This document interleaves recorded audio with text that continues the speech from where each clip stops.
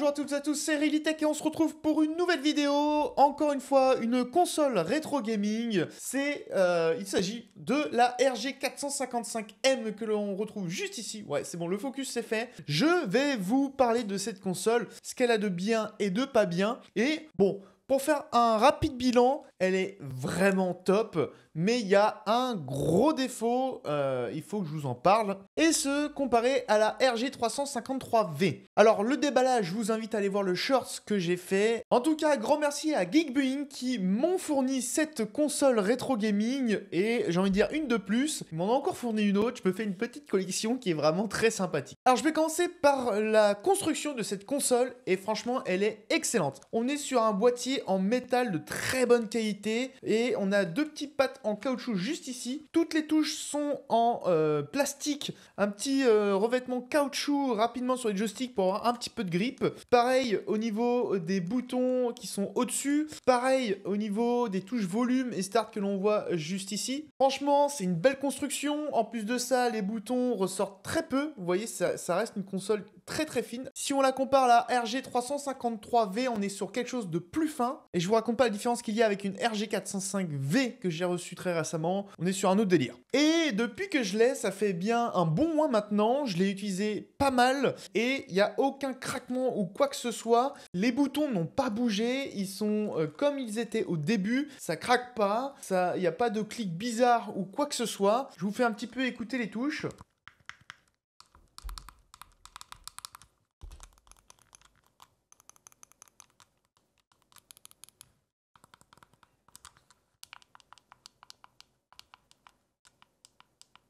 Voilà, vous avez à peu près entendu toutes les touches, donc bon, il n'y a pas grand chose à dire. Si on la secoue un peu, on entend un léger jeu qui vient, euh, je pense, des touches euh, peut-être ici euh, et peut-être des joysticks. Mais voilà, c'est pas grand chose non plus, rien d'inquiétant, ça tient extrêmement bien. Et je pense que ça va durer encore longtemps. Et la chose sympa, c'est qu'il y a un écran de protection fourni également avec cette console que j'ai appliqué directement. Ça se met très facilement et euh, pour l'instant, il n'a pas bougé. Ok, maintenant on va parler ergonomie et prise en main de la console. Et de ce côté-là, elle est meilleure que la RG353V. Déjà par le placement des joysticks et par le format de la console, c'est beaucoup plus simple et moins fatigant d'utiliser les joysticks sur cette console que sur la RG353V. Pareil au niveau des boutons qui sont atteignables facilement avec les pouces et c'est également le cas avec les boutons Start et Select qui sont ici et le bouton Home Retour qui est ici. Tout est facilement atteignable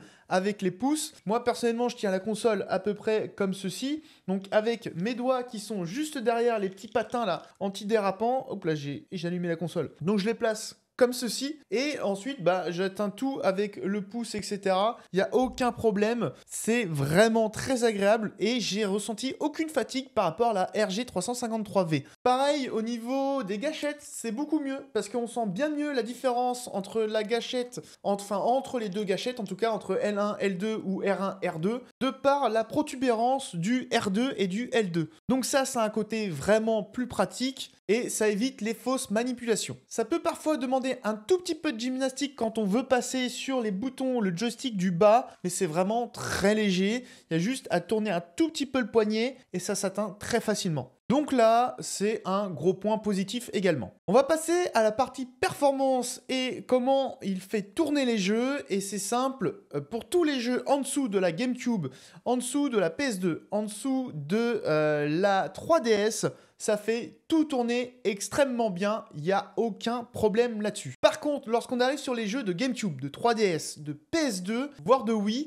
eh bien, ça dépendra des jeux. En fait, si les jeux sont en 2D, là, il n'y aura aucun problème. Par contre, lorsque les jeux seront en 3D, vraiment de la grosse 3D avec des mondes ouverts, ce sera un petit peu plus compliqué euh, et il faudra peut-être tripoter euh, les paramètres ou les, du moins les réglages, la configuration euh, de l'émulateur pour avoir un meilleur rendu au niveau des FPS ou de la qualité du son qui peut parfois sauter également. Donc là, ça dépendra des jeux auxquels vous jouez. Par exemple, sur du Budokai Tenkaichi 3, ça rame un peu. Sur du Budokai 3, il n'y a aucun problème, c'est parfaitement fluide. Pareil sur du San Andreas, c'est un petit peu limite. Parfois, il y a des chutes de FPS. Et pareil, alors je suis assez étonné, je m'attendais à mieux. Sur Mario Kart Double Dash, il y a quelques petites baisses de, de framerate. Donc là, à voir si on peut améliorer au niveau des réglages. J'ai pas touché euh, au niveau des réglages, c'est tel quel. Après, au niveau de la 3DS, euh, au niveau des Pokémon, alors j'ai joué qu'à Pokémon parce que sur les 3DS, j'ai quasiment joué qu'à ça. Ça tourne très bien, que ce soit Pokémon Y ou X ou euh, les Ruby, Safi, Omega, Alpha, ça tourne très bien, à part quelques petits problèmes graphiques par-ci par-là, surtout au niveau des cinématiques, j'ai pas grand-chose à dire. Pour ce qui est des performances sur les jeux Android, il n'y a aucun problème là également, ça marche extrêmement bien. Et pareil, bah, pour le Xbox Game Pass, c'est du cloud, donc ça dépendra de vos connexions Wi-Fi ou euh, cellulaires si jamais vous faites une partage de connexion avec votre téléphone. Mais pareil, du moment que vous avez la connexion, ça marche extrêmement bien. C'est juste que pour le Xbox Game Pass, parfois ça peut être écrit un petit peu petit, mais bon, euh, si vous connaissez plus ou moins le jeu, bon, ça va, mais je préfère vous prévenir quand même. Je vous laisse une petite vidéo où je vous montre un peu les performances que ça donne.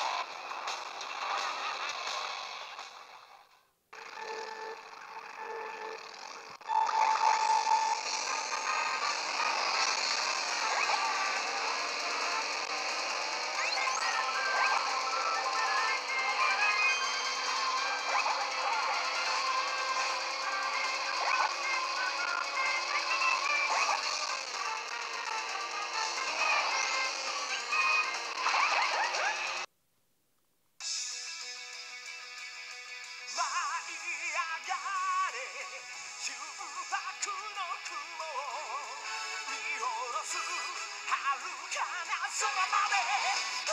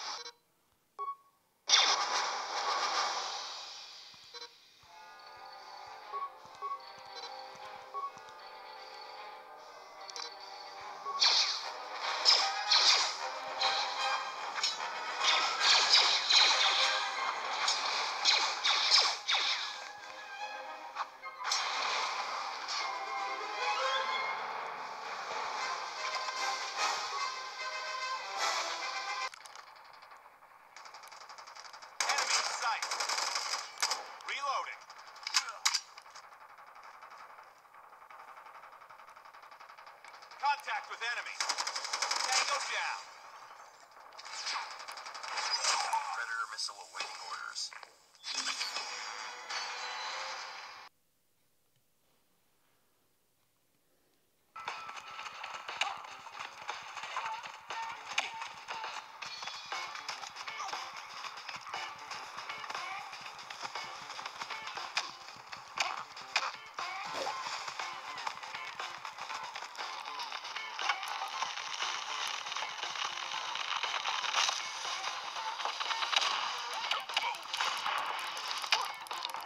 Alors au niveau des fonctionnalités, euh, en grosso modo, ça fait un petit peu moins que la RG353V. Sur celle-ci, on pouvait tout simplement euh, sortir l'image vidéo sur un écran pour peu qu'on avait euh, le câble HDMI qu'il fallait. Là, c'est pas du tout le cas. On a juste un USB-C qui est présent ici, qui sert à deux choses recharger la console ou tout simplement transférer des jeux sur la console. Donc ça, c'est un petit peu dommage de ne pas avoir la même connectique que la RG353V, sachant qu'elle est plus puissante. Donc normalement, elle devrait être capable également. Donc ça, c'est un petit peu dommage. D'autant plus que comme la RG353V, on a les mêmes connectivités au niveau euh, sans fil, donc Bluetooth, Wi-Fi, etc.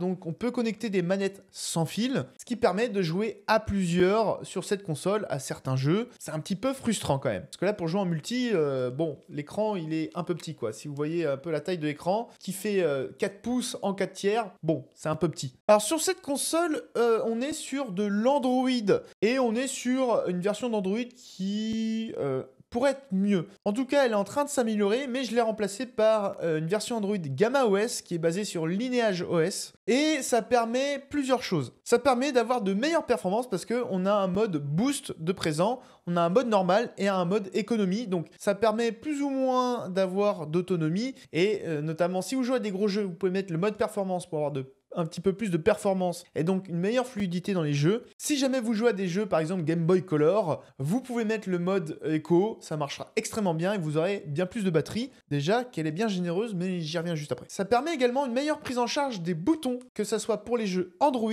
ou le Xbox Game Pass. C'est simple, le Xbox Game Pass ça marche extrêmement bien, il n'y a aucun problème. Et pour les jeux Android, pareil, ça marche sur tous les jeux Android que j'ai pu tester. En fait, euh, l'OS permet tout simplement de faire croire qu'il il y a une manette de Xbox qui est connectée à celle-ci, ou du moins c'est une manette de Xbox intégrée à cette console. Et donc, ça marche sur absolument tout, donc aucun problème là-dessus. Et de ce fait, on n'a qu'un port micro USB qui est présent juste ici en dessous de la console, où on peut euh, mettre tous ces jeux, pas besoin de mettre de système, et euh, ce qui fait qu'on a deux choix, soit on met les jeux directement dans la mémoire interne de la console, il y a euh, je crois 120 Go, ce qui fait pas mal déjà pour stocker des jeux rétro, ou si jamais vraiment vous jouez à énormément de jeux, c'est pas mon cas, moi 120 Go ça me suffit par exemple, eh bien vous pouvez rajouter euh, une carte mémoire de 64, 128, 256 Go comme vous voulez pour ajouter tous les jeux auxquels vous voulez jouer. Pour ce qui est de la chauffe, alors euh, il y a de temps en temps de la chauffe, surtout sur les très gros jeux, GameCube, PS2,